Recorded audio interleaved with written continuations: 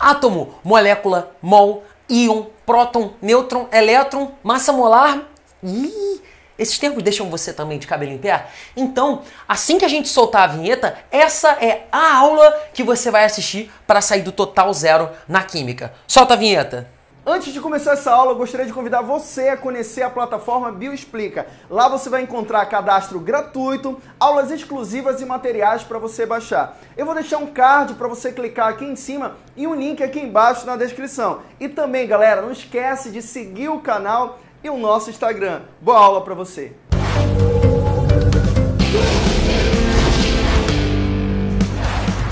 Deixa que a gente explica. Fala galera, por aqui professor Marcos Enes, o monstrão da química no Bio Explica e hoje pessoal nós vamos ver a aula de Química Zero. Que aula é essa monstrão? Galera, essa aula é para você que vive reclamando, poxa, eu não sei nada de química, eu não consigo aprender química, eu duvido que você não consiga aprender química. Aqui no Bio Explica, comigo, com o monstrão da química, eu te garanto, nós vamos aprender. Você vai conseguir entender química. Então essa aula foi pensando exatamente em você. A primeira coisa que eu peço para você, acredite no seu potencial. Vem, corre atrás, senta, estuda. O que, que é maior? A sua dificuldade ou o seu sonho? Eu não tenho a mínima dúvida de que você respondeu sem pensar. O meu sonho é muito maior do que a minha dificuldade. Então, seja determinado. A gente tem plano de estudo aqui para você. A gente tem todas as ferramentas para você poder cair dentro e conseguir atingir o seu sonho. Então, conta comigo. Conta com o Monstrão. Eu tô com você. Acredita no seu potencial porque eu acredito. Beleza? Então, vamos à aula de Química Zero. Pessoal, é, essa primeira aula, se você está num nível de química já mais avançado, aqui creio eu que não vai ter nenhuma novidade para você. Mas se você está partindo do total zero, cara, eu não sei nada de química. Essa aula é ideal porque eu fiz um compilado dos termos fundamentais para a gente poder trabalhar e sair do total zero para começar a engatinhar. Então são só os termos mais importantes. Esses termos vão voltar a ser repetidos nas nossas aulas mais à frente, beleza? Vamos lá. Então, primeira coisa, o que é matéria? Matéria é tudo aquilo que possui volume e massa, é tudo aquilo que ocupa um lugar no espaço e possui massa. Só que aí essa matéria, para nós, vai ser composta pelo quê? A matéria vai ser composta por átomos. Beleza? E aí o que, que são esses átomos? Átomos, pelo modelo que não é o modelo mais recente, mas é o modelo que nós, nós trabalhamos, é, que mais nós trabalhamos, que é o modelo de Rutherford somado aos postulados de Bohr, o átomo ele vai ser é, composto por um núcleo carregado positivamente, e no núcleo desse átomo você tem prótons e nêutrons. Os prótons carregados positivamente e os nêutrons de carga nenhuma. E ao redor dessa região central, que é o núcleo, você tem os elétrons orbitando ao redor desse núcleo, numa região chamada eletrosfera. Então, o átomo ele é composto, vou colocar aqui duas divisões por um núcleo e por uma eletrosfera. Tudo bem? No núcleo, no centro do átomo, nós vamos ter os prótons de partículas que são consideradas partículas de cargas positivas, próton é positivo, e os nêutrons que tem carga Nenhuma, isso aí, nenhuma. Nêutron não tem carga nenhuma, a carga dele é zero. Beleza? E na eletrosfera, nós temos os elétrons. Elétrons que têm carga negativa. Beleza? Próton tem carga positiva, elétron tem carga negativa. E para um átomo neutro, o número de prótons é sempre igual ao número de elétrons. Tudo bem? Beleza. Então nós temos os átomos que constituem essa matéria, mas não são só os átomos não.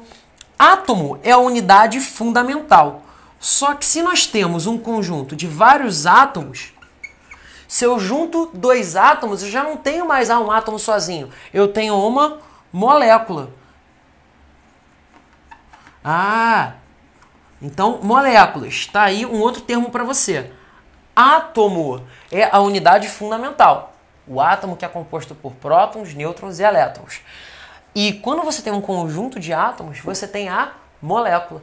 Por exemplo, quando tenho uma molécula de água, qual é a fórmula da água? Essa você sabe, tenho certeza. A fórmula da água é H2O. Caramba, mas o que esse H2O significa para mim? Esse H2O está mostrando o que para gente? Na molécula de água, quando você tem uma única molequinha de água sozinha, você tem dois átomos de hidrogênio, certo? Ah, e quantos oxigênios? Galera, quando não tiver nenhum número aqui ao lado, você vai enxergar qual número? O número 1, beleza? Então eu tenho dois átomos de hidrogênio e um átomo de oxigênio, formando uma molécula de água. Monstrão, mas qual é o nome desse númerozinho que fica aqui embaixo? Esse número que fica aqui embaixo a gente vai chamar de índice. Tudo bem? E o índice faz o que? O índice indica. Indica o que? Quantos elementos você tem desse determinado elemento, quantas unidades desse elemento você tem para cada molécula. Por exemplo, uma molécula de água tem dois átomos de hidrogênio e um átomo de oxigênio. Ficou claro? Beleza? Show de bola. Agora, vamos ver outro exemplo. Dióxido de carbono. CO2. Opa, Mudou a constituição. Agora, no CO2, qual é a constituição? Nós temos um carbono e dois oxigênios. Percebeu? Ó, não tem índice no carbono, então tem um átomo de carbono só. Índice 2 no oxigênio, dois oxigênios. Beleza? Então, no CO2, para cada molécula de CO2, nós temos um átomo de carbono e dois átomos de oxigênio. Certo? Tranquilo? Sem dificuldade? Maravilha. Então, o átomo seria o átomo isolado, sozinho. Por exemplo, o átomo de oxigênio sozinho. O átomo de carbono sozinho. O átomo de nitrogênio sozinho. O átomo de tungstênio. Tungstênio é W, beleza? Sozinho. Seriam os átomos isolados. E molécula é quando você tem um conjunto de átomos. Mas fique esperto existem moléculas que nós chamamos de moléculas monoatômicas. Olha o nome, ó. Mono, um só. Atômicas, átomo. Monoatômicas possuem apenas um átomo, como é o exemplo dos gases nobres. Por exemplo, o hélio, o gás nobre hélio, vou até colocar em vermelho aqui para diferenciar. HE, ele é formado, cada molécula de hélio é composta apenas por um átomo de gás hélio, sacou? Hélio, Hzão é zinho, show de bola? Então, Cuidado, nem todas as moléculas serão poliatômicas, ou seja, terão dois ou mais átomos. Teremos também moléculas monoatômicas. Show de bola? Como, por exemplo, os gases nobres. Vou até colocar aqui, HE é um gás nobre. Tranquilo? Show de bola? Quando a gente chegar à aula de tabela periódica, você vai ver as particularidades desses gases nobres. Tira seu print rapidão, manda ver. Printou? Maravilha! Vamos aos próximos conceitos fundamentais. Partiu! Vamos lá. Representação dos elementos. Cara, a representação principal é essa daqui. Você vai ter o símbolo do elemento químico, no caso aqui eu usei o H, que é o símbolo do hidrogênio. Você vai ter um número em cima e um número embaixo. Marquinhos, quais serão esses números de cima e de baixo? Geralmente, geralmente nós podemos ter também outras representações. Geralmente, qual vai ser o padrão? O número de cima, esse número de cima, vai ser o A, que a gente vai chamar de número de massa ou massa atômica. Anota aí, A, número de massa. Tudo bem? Show de bola. Depois, esse número de baixo vai ser representado pela letra Z. Z Z significa número atômico. E você vai ver nas aulas de atomística que esse Z vai ser chamado de identidade. Por quê? O Z, o número atômico, ele é o número de prótons de uma espécie química. E o número de prótons é o que vai determinar se você está trabalhando com carbono, com nitrogênio, com oxigênio, com flúor, com enxofre. O número de prótons é a identidade do seu elemento químico. Bote isso na sua cabeça. O número de prótons é a identidade. É aquilo que caracteriza um determinado elemento químico. Beleza? Show. Então, geralmente, em cima é o número de massa, embaixo é o número atômico.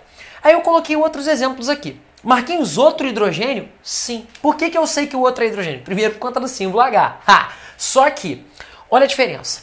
Aqui, o número de massa é o mesmo? Não, o número de massa é 2. O número atômico é o mesmo. Peraí, peraí. Então nós temos o que de comum?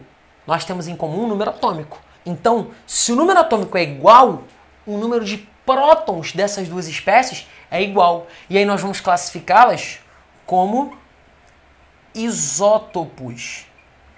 Iso igual pois número de prótons, beleza? Então, isótopos são espécies que possuem o mesmo número de prótons. Então tá aqui, ó.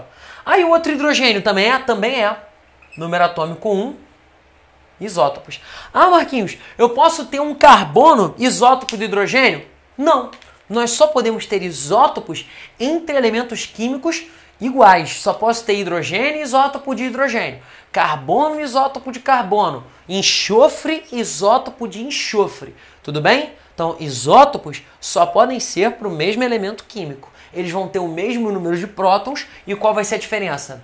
No número de massa. Repare que esse segundo hidrogênio tem número de massa 2 e o outro tem número de massa 3. Número de massa 2, número de massa 3. Esses são os três principais isótopos do hidrogênio. O isótopo de número de massa 1 nós chamamos de prótio, anota aí, ó, prótio. O de número de massa 2 nós chamamos de deutério. Deutério. E o de número de massa 3 nós chamamos de trítio. Prótio, deutério e trítio. Show de bola? Todos eles possuem o mesmo número de prótons, mas a massa de cada um deles é diferente. Isso por conta do número de nêutrons. Mas na aula de atomística eu vou mostrar isso para você. Beleza, tá aí. Agora, e o carbono que eu coloquei ali na frente? Número de massa do carbono. Carbono tem massa 12. Número atômico do carbono. Número atômico 6. Marquinhos, o carbono tem um isótopo? Tem. Eu posso colocar outro isótopo do carbono aqui, ó carbono de número atômico 6 também. Se eu mudo o número atômico, eu mudo o elemento químico. E massa 14. Opa, então tem outro isótopo do carbono aqui. Um de massa 14 e o número atômico continua o mesmo. Claro, se eu estou falando do carbono, o número atômico tem que ser o mesmo. Se eu jogo o número atômico para 7, não é mais do carbono que eu estou falando. Estou falando agora do nitrogênio. Tudo bem? Beleza? Então, um espaço para você printar. Printou? Show de bola! Lembre-se, a representação mais comum dos elementos químicos é nós teremos o símbolo no meio, em cima o número de massa e embaixo o número atômico. Beleza? Vamos à próxima parte. Como é que nós vamos representar as moléculas? Por exemplo, ah, uma molécula de água. Nós temos, para representar as moléculas, seja em uma reação química ou seja num texto, a gente pode usar uma fórmula molecular. E o que seriam essas fórmulas moleculares? As fórmulas moleculares, elas não vão dar pra gente informações sobre a estrutura. Por exemplo, ah, como é que é a estrutura espacial da água? Não, a fórmula molecular não é para isso. A fórmula molecular serve para passar pra gente a constituição. Quais são os constituintes, ou seja, quantos átomos de hidrogênio, de oxigênio, de ferro, de carbono, quanto de cada elemento você tem numa substância. Tudo bem? Então a fórmula molecular serve para nos passar a constituição de uma substância. Beleza. Então eu coloquei aqui quatro exemplos rapidinho. Eu coloquei a água, o dióxido de carbono, a glicose e o sulfato de alumínio. Beleza. Então primeiro a água que é constituída a água? Ah, de hidrogênio e oxigênio. Beleza, mas repara, nós temos quantos hidrogênios? Olha o índice. Lembra? Índice é esse número que indica o número de elementos que você tem numa determinada substância. Então nós temos dois hidrogênios e quantos oxigênios?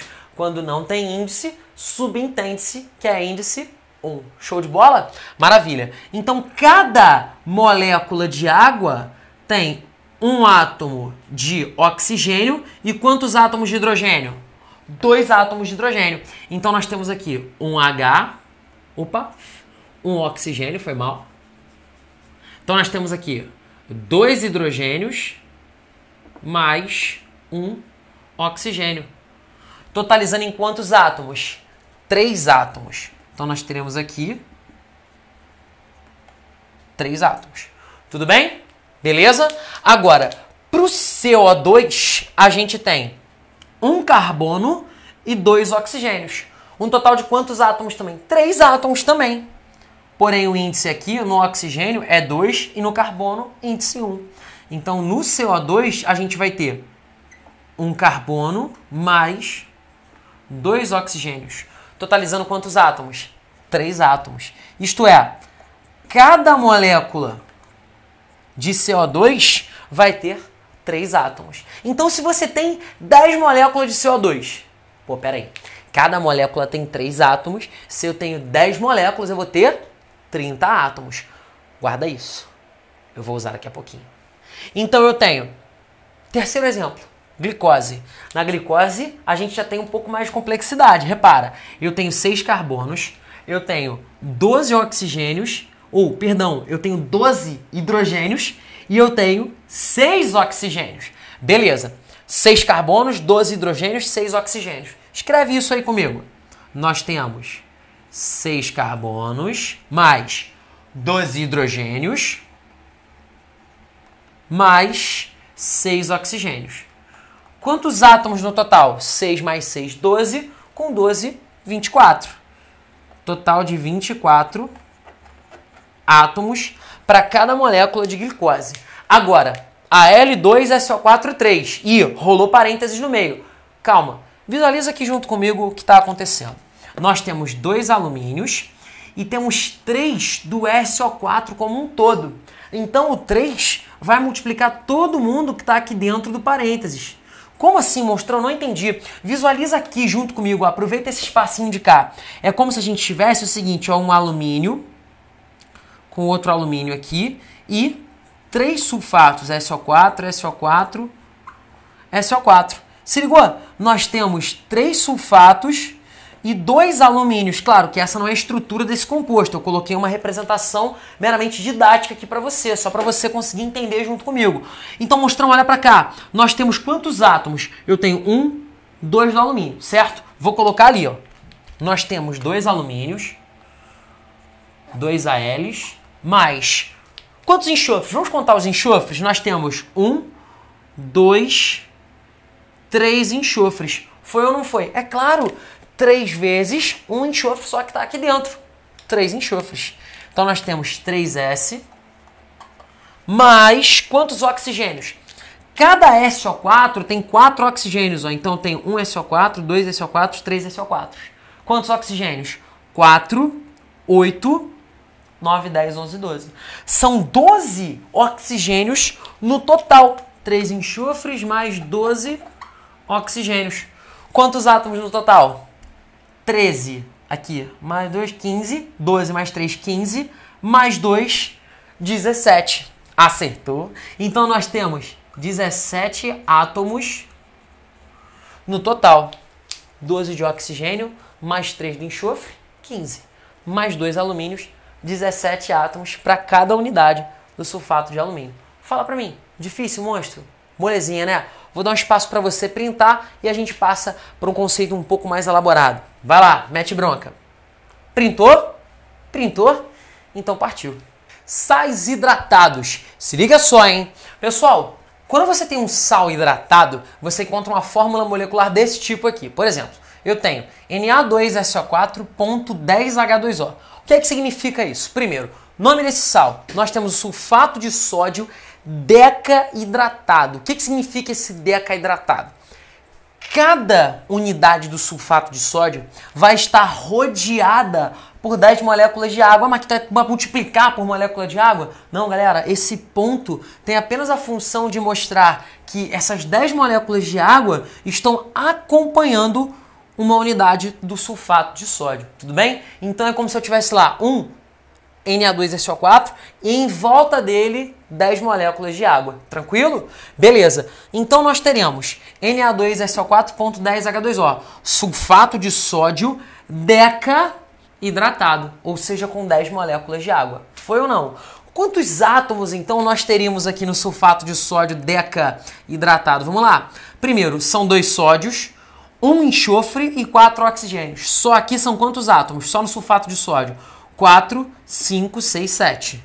Então, sete átomos. Mas não são 10 moléculas de água?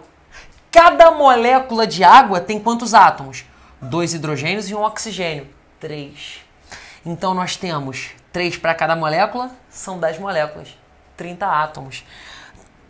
30 átomos da molécula de água mais 7 do sulfato de sódio, nós temos um total de 37 átomos. Então não é para multiplicar, basta você somar o número de átomos da molécula de água, das moléculas de água no caso, com o número de átomos do sulfato de sódio. Muito fácil, não é? Vamos ao próximo exemplo. Iodeto de bário, BaI2, triidratado. Se é triidratado, tem três moléculas de água. Então aqui, ó, 3H2O, triidratado. Beleza? Vamos lá, vamos contar quantos átomos eu tenho aqui? Eu tenho um bário e dois iodos. Três átomos. São três moléculas de água. Cada molécula de água tem quantos átomos? Tem três. Dois hidrogênios e um oxigênio. São três, então nós teremos três vezes três, nove átomos nas moléculas de água. Então 9 mais 3 dá 12. Então um total aqui de 12 átomos. Fala pra mim. Muito fácil, não é? Tempinho para você printar. Foi? Fórmula dos sais hidratados. Beleza. Vamos para a próxima parte. Galera, vamos então a uma grande dúvida dentro do estudo de química. Qual é a interpretação das reações químicas que aparecem na forma de equações? As equações químicas nada mais são do que uma forma de você expressar uma reação química, como é que ela acontece, quais são os compostos que se combinam e quais são os compostos gerados a partir daquela combinação. Tudo bem? Tudo isso na forma de uma equação, para você poder colocar isso na forma de uma escrita no papel. Beleza. Então, eu tenho o seguinte, nas equações químicas, qual é a função das equações químicas? Você vai descrever o que está acontecendo numa reação química. Função da equação química, descrever o que acontece numa equação química, numa reação química, beleza? Bom, então nós temos nas equações químicas, nós temos duas partes. À esquerda da seta reacional nós teremos os reagentes. À direita da seta reacional nós teremos os produtos. Reagentes, então, nós podemos interpretar aqui os reagentes como nosso estado inicial. Tudo bem? É o início é o começo da reação. Nós temos inicialmente os reagentes, que vão se combinar e essa setinha você entende como o quê? Gerando, formando, produzindo. Beleza? Então nós temos os reagentes gerando, formando ou produzindo os produtos. Então os produtos seriam o nosso estado final. Beleza? Reagentes, nosso estado inicial, produtos, nosso estado final. Então você vai interpretar da seguinte maneira: eu tenho tais reagentes, numa determinada equação química, eu tenho os reagentes se combinando, gerando os seguintes produtos. Tudo bem? Beleza? É assim que você vai interpretar uma equação química. E aqui embaixo eu coloquei um exemplo da combustão do etanol. O que é combustão, pessoal? Combustão é uma reação que a gente vai ver muito na fisicoquímica, é, que é uma reação que vai trabalhar um composto reagindo com oxigênio e essa reação vai acontecer mediante a liberação de calor. E mais precisamente, combustão de compostos orgânicos, chamados de hidrocarbonetos, olha o nome, hidrocarbonetos, só hidrogênio e carbono. Ou combustão de compostos orgânicos oxigenados, ou seja, que tem oxigênio, sempre vai acontecer mediante a liberação de calor e segundo, liberando CO2 e água, supondo que essa combustão seja uma combustão completa. Mais à frente nós vamos ter a oportunidade de aprofundar nisso um pouquinho mais. Beleza, então eu coloquei aqui o exemplo da combustão do etanol. Então essa fórmula molecular representa o etanol, que reage com o oxigênio, formando CO2 e água. Calma, vamos analisar isso aqui de uma maneira um pouco mais profunda. Se liga, eu tenho uma molécula de etanol, qual é a proporção aqui? O que, que significa esse L aqui? Esses números daqui você já sabe o que significam. Esses números aqui que eu destaquei em verde, o C2, H6 e o O que não tem número, que na verdade é 1, você sabe que é o índice, que faz o quê? Indica qual é a quantidade de cada um desses elementos aqui. Beleza. E esse L que eu coloquei aqui, em caixa baixa. Esse L representa qual é a fase na qual essa molécula está se apresentando. Você pode ver que na maioria das equações químicas você tem esse estado físico, você tem essa fase aparecendo aqui. Então esse L significa que o etanol está em fase líquida, tudo bem? Que se combina a 3 mols de oxigênio em fase gasosa. 3 mols, Marquinhos. O que, que é isso, galera? Esse 3 aqui na frente, que eu vou destacar em verde, na verdade, é o coeficiente. Anota aí, vai, ó. Coeficiente estequiométrico. Coeficiente estequiométrico. Na verdade, vai indicar qual é o número de mols, qual é a proporção de cada composto presente nessa equação química. Por exemplo, tem coeficiente estequiométrico aqui no etanol? Ah, não tem. Tem. Só que na verdade nós estamos omitindo esse coeficiente. Por quê? Se eu não coloco nada na frente do etanol, significa que eu tenho um coeficiente estequiométrico igual a 1. Tudo bem? E aqui o coeficiente estequiométrico é igual a 3. Tranquilo? Então, 3 mols de oxigênio em fase gasosa, tá? Aqui a fase do oxigênio, gás. Gerando, dando, formando, produzindo 2 mols de CO2, está aqui outro coeficiente estequiométrico, 2 mols de CO2 em fase gasosa, mais 3 mols, outro coeficiente estequiométrico, de H2O. 3 mols de água com a fase gasosa. Tudo bem? Beleza? Então, recapitulando, nós temos o número que fica na frente, coeficiente estequiométrico, que indica a proporção. Coeficiente estequiométrico, coeficiente estequiométrico, coeficiente estequiométrico. Beleza. Embaixo, índice, que indica qual é a quantidade de cada um dos elementos que aparece. E essa letra, fase. Nós podemos ter fase líquida, que eu represento por um L, gasosa, G, e sólida, um S. Teremos também a fase aquosa, que a gente vai representar assim, ó. Entre parênteses, um A e um Qzinho. Aqui. O que, que significa isso?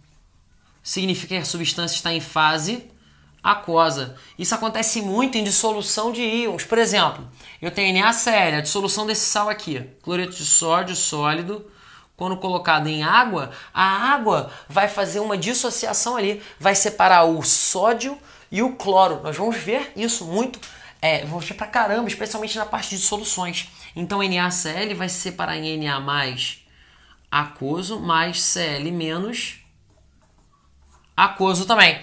Então nós temos reagentes aqui, o reagente na verdade em fase sólida e os produtos em fase aquosa. Como assim fase aquosa? Eles estão dissolvidos em água, ou seja, as moléculas de água estão solvatando o Na+ e o Cl-. Beleza? Vou dar um tempinho para você printar rapidinho. Mete bronca.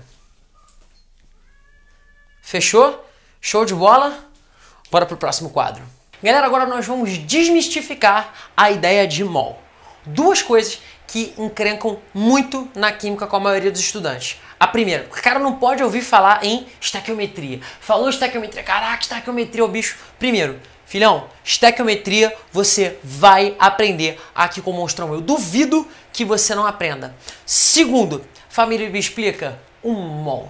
Quando a gente fala de mol, o cara já treme todo na base, ai caraca, mol é um saco, mol é um saco. Cara, você sabe o que é uma dúzia? Você sabe que uma dúzia. uma vez. uma vez eu, eu, eu falei com a menina tava dando aula e a menina falou assim: eu perguntei, ah galera, aqui uma dúzia, vocês sabem o que, que é? Aí a menina, ah, uma dúzia são 12 ovos. Ah, então, dúzia é a unidade internacional para medir ovo, sacou não? Dúzia, galera, é uma unidade, é uma, um conjunto de 12 unidades. De quê? De qualquer coisa. Uma dúzia são 12 unidades. Estou falando, sei lá, uma dúzia de pilões, dessas canetinhas aqui, são 12 pilões. Uma dúzia de ovos, são 12 ovos. Uma dúzia de, sei lá, uma dúzia de bolinhas de ping-pong. São 12 bolinhas de ping-pong. Uma dúzia de acerola são 12 acerolas. Então a dúzia são 12 unidades de quê? De qualquer coisa. E uma centena? 100 unidades. Uma dezena? 10 unidades. Então se você entende esses conceitos de unidade, você entende o conceito de mol. Quer ver o que é um mol? Quando você tem um mol, você tem na verdade uma quantidade fixa de matéria. Ou seja, se eu tenho um mol, um camarada chamado Amadeu Avogadro falou o seguinte, ó, um mol vai ter o equivalente a 6,02 vezes 10 a 23 unidades. Então, uma dúzia são 12 unidades, uma dezena são 10 unidades. Um mol são 6,02 vezes 10 a 23 unidades. Viu como é fácil? Pronto, você entendeu o conceito de mol. Então, esse 6,02 vezes 10 a 23, nós vamos aproximar para 6 vezes 10 a 23, tudo bem? Só para facilitar, as nossas contas. A questão não falou nada. Vamos usar mol, consideraremos mol como 6 vezes 10 a 23. Agora, Marquinhos, a questão me deu o valor original, 6,02 vezes 10 a 23. Você vai usar o valor que foi dado no enunciado da questão. Beleza? Show! Então, 6 vezes 10 a 23. Vamos fazer conta então? Vamos embora para isso aqui ficar mais fixado na sua cabeça? Vamos lá. Se liga. Se eu tenho uma dúzia de moléculas, quantas moléculas eu tenho? 12. Se eu tenho uma centena de moléculas, eu tenho 100 moléculas. Se eu tenho um mol, vamos colocar aí de moléculas de dióxido de carbono. Se eu tenho um mol de moléculas de CO2, nós temos 6, vamos usar um número aproximado, vezes 10 a 23 moléculas. Certo? 6 vezes 10 a 23 moléculas de CO2. Agora, vamos fazer uma conta aqui. Se eu tenho 5 mols, vamos começar com um valor tranquilo, 5 mols. Se eu tenho 5 mols de moléculas do CO2, eu tenho, vou colocar um Y para você não confundir com esse X daqui de cima. Eu tenho Y moléculas. Cara, regra de 3, fácil. Daqui para cá, eu vou multiplicar cruzado, ou se você preferir, nós vamos trabalhar muito assim estequiometria. Quando você aprendeu a regra de 3, eu tenho certeza que você se lembra que o nome desse conteúdo na matemática é razão e proporção. Por quê? Sempre que você está trabalhando com uma regra de 3, vai haver uma razão, vai haver uma proporção governando a sua regra de 3. Ou seja, aqui tem alguma proporção, aqui tem alguma razão dentro dessa regra de 3. E aqui nesse caso fica fácil de enxergar. Daqui de cima para baixo a gente multiplicou por quanto? Por 5, certo? Então daqui para cá, para achar o resultado final, eu vou multiplicar por 5. Ah, Marquinhos, mas era só multiplicar cruzado. Sim, mas tem casos em que você precisa fazer a multiplicação cruzado aqui e no final eu multiplico esse valor aqui por esse e vou precisar fazer uma conta de dividir. Então fica mais complicado. Às vezes você tem que multiplicar, sei lá, 1,98 vezes 10 a 24 por 70, mas na verdade era só você pegar esse valor aqui e dividir por 4. Opa, caramba! Então a conta fica muito mais suave quando você trabalha com razão e proporção. Claro, que sempre vai ter razão e proporção? Sim, sempre vai haver razão e proporção, mas nem sempre vai ser o caminho mais fácil. Até ah, daqui para cá eu multipliquei por 1,478, pô, brincadeira, né? Então, há casos em que a proporção fica evidente, há casos em que a proporção fica um pouco menos evidente e a gente vai sair fazendo regra de 3 tradicional. Tudo bem? Beleza. Então, de cara, eu já faço a conta aqui e ó, o y vai dar quanto? 6 vezes 5, 30. 30 vezes 10 a 23 moleques, moléculas de CO2. Espera aí. Acabou? Esse é o resultado final? Hum, hum, não. Por quê? Esse 30 vezes 10 a 23 está em notação científica? Eu vou deixar isso aqui dessa forma ou eu vou passar para notação? É claro que eu vou passar para notação. Família Bioexplica. A vírgula está aqui, não tá? Beleza. Para passar para notação científica, nós vamos ter que colocar esse número aqui entre um valor que esteja compreendido entre 1 e 9,9, multiplicando a potência de 10, beleza? Então nós vamos andar com essa vírgula, uma casa decimal para, fala, esquerda ou direita? Galera, esquerda e direita cai no vestibular também, fala para mim. Beleza, vamos andar para esquerda, show. Então a vírgula vai sair daqui e vai vir para cá. Beleza. E aí? A resposta é 3 vezes 10 a 24 ou 3 vezes 10 a 22. Se liga no macete do monstrão, um macete definitivo para você nunca mais errar isso. Se a vírgula anda para direita, o que acontece com o expoente? O expoente, eu chego a ficar arrepiado quando eu penso nesse macete. O expoente diminui. Caraca, olha isso, filho. Direita diminui. Então, quando a vírgula anda para direita, o expoente diminui. Aí quando a vírgula anda para a esquerda, o cara vem, ah, mostrão. Aí o expoente aumenta, né? Aí você acabou com o meu macete. Então, para esquerda, quando a vírgula anda para esquerda, o expoente se, olha que coisa maravilhosa, e leva. Caraca, moleque! Então, para direita diminui, para esquerda eleva.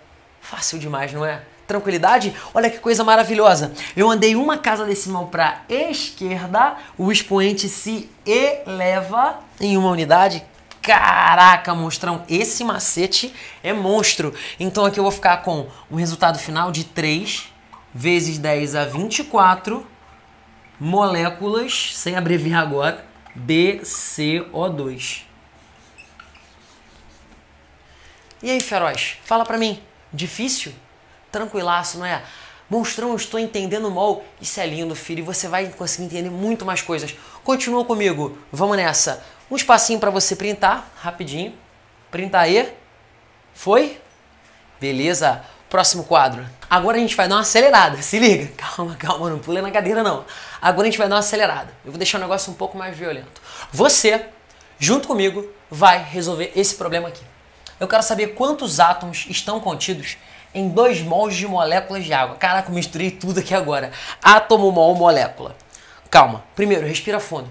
Você já viu esses termos comigo. Você acabou de aprender tudo isso nessa nossa aula de hoje. Então, respira fundo e me ajuda. Nós vamos fazer juntos. Eu acredito em você. Vem com o monstro. Pessoal, então a pergunta foi: quantos átomos estão contidos em 2 mols de moléculas de água? Primeiro, se eu quero saber quantos átomos eu tenho no total, primeiro eu tenho que saber quantas moléculas eu tenho, certo ou não? Beleza. Então o primeiro passo é determinar qual é o número total de moléculas que eu tenho. Ah, Marquinhos, mas são em 2 mols. Beleza. É em 2 mols que a gente quer fazer a contagem. Mas o que, que você sabe? Você sabe que um mol de moléculas tem quantas moléculas? Filhão, uma dúzia de moléculas são quantas moléculas? 12. Uma centena de moléculas são quantas moléculas? 100. Então, um mol de moléculas são 6 vezes 10 a 23 moléculas. Que lindo! Olha só o nível que você já chegou, você saiu do zero. Então, aqui, ó, um mol de moléculas, vamos lá, sempre escrevendo o que a gente está trabalhando. Um mol de moléculas, vou botar abreviado aqui só para dar espaço, de H2O tem 6 vezes 10 a 23 moléculas de H2O. Beleza? Então nós queremos saber em 2 mols de moléculas. Opa, que fácil!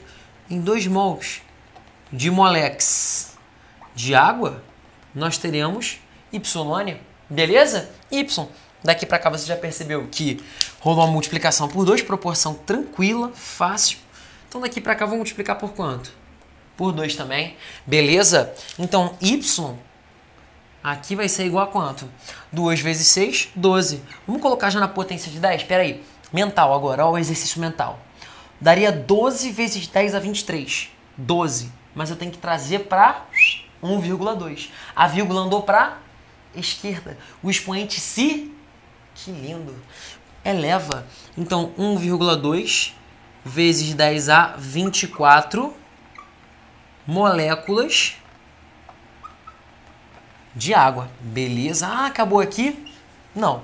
Você descobriu o número total de moléculas de água. Mas não é isso que eu quero no final. Eu quero o número de átomos total. Galera, se eu chego para vocês e falo assim: uma bicicleta. Caiu meu piloto, volta aqui. Uma bicicleta tem quantas rodas? Duas, certo? Se eu tenho 20 bicicletas, quantas rodas você tem? Você já respondeu aí, 40. O que, que você fez automaticamente? Uma bicicleta tem duas rodas. Ah, 20 bicicletas, 40 rodas você fez a proporção, certo? Então se eu falo para você, uma molécula de água tem quantos átomos? Olha para cá, a molécula é H2O, tá aqui ó, H2O. Nós temos dois hidrogênios e um oxigênio, certo? Então cada molécula de água tem quantos átomos? Três. Dois hidrogênios e um oxigênio, certo? Se eu tenho 10 moléculas de água, você já pensou? 30 átomos, certo? Por quê? Uma molécula tem 3 átomos 10 moléculas, 3 vezes 10, 30. Certo ou não? Viu como o conceito é fácil? Se com bicicleta você entende, com molécula, então fala sério, fica tão fácil quanto. Então, monstrão, são três átomos para cada molécula de água. Nosso segundo passo vai ser achar um número total de quê? De átomos dentro da nossa amostra aqui de 2 mols de água. Eu já sei quantas moléculas são eu quero saber quantos átomos nós teremos no total. Beleza. Sabemos que uma molécula de água, uma molécula de água sozinha, isolada, tem quantos átomos? Dois hidrogênios e um oxigênio. Então, uma molécula de água tem três átomos. Correto ou não? Três átomos. Beleza. Então, quantas moléculas de água nós temos? Essa quantidade aqui. 1,2 vezes 10 a 24 molex, moléculas, só abreviei aqui para dar, para rolar espaço, moléculas de água. Vou colocar aqui Z, só para não enrolar a gente. Beleza? Então, eu quero saber 1,2 moléculas, 1,2 vezes 10 24 moléculas. Se eu tivesse 10 moléculas, seria 3 vezes 10, 30. Então, como eu tenho 1,2 vezes 10 24, um número bem maior do que 10, é só multiplicar ele por quanto? Por 3. Monstrão, olha que fácil. Para a gente fechar aqui, Z é igual a quanto? 3,6 vezes 10 a 24 moléculas. Oh, moléculas, viajei. 3,6 vezes 10, 24 átomos no total. Certo ou não, galera? Tranquilo? Marquinhos, se ele tivesse me perguntado só do hidrogênio ou só do oxigênio, filhão, concorda que se são três átomos e são dois de hidrogênio e um de oxigênio, dois terços desses átomos são de hidrogênio e um terço desses átomos de oxigênio, certo? Dois terços de hidrogênio e um terço de oxigênio. Então, dessa quantidade, dois terços seriam de hidrogênio, ou seja, 2,4 vezes 10 a 24. E um terço de oxigênio, ou seja, a terça parte disso aqui, 1,2 vezes 10 a 24. Mole demais, não é? Fala sério, monstrão. Eu vou deixar vocês tirar um print aqui rapidamente. Família Bio Explica, mais uma vez um prazer enorme estar aqui com vocês. Continua com a gente, tem muito mais conteúdo no Bio Explica, tem muito mais aula do Monstrão para você poder assistir. Tá na zica? Calma, não se desespera. O Monstrão tá aqui no Bio Explica só para te ajudar. Até a próxima. Um beijo no seu coração. Valeu.